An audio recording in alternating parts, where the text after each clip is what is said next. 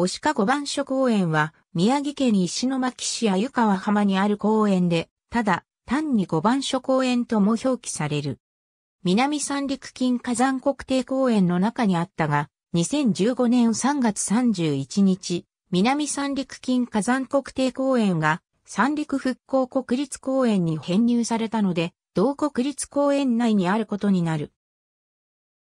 押鹿半島に1971年4月1日に有料道路として開通し、1996年4月に無料開放となった宮城県道220号大鹿半島公園線の南端にあり、公園中央の一番高い位置には六角形の展望棟があって、押鹿半島の前景、金華山、味島、田代島、太平洋の大海原など、360度パノラマの眺望が楽しめる。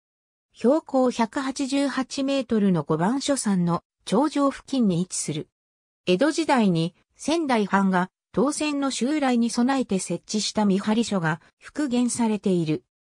五番所公園展望棟から見る金華山2011年3月11日に発生した東北地方太平洋沖地震の際は、潮が引き金火山までの海の底が現れ、押鹿半島と金華山は陸続きのようになった。その後津波が襲来した。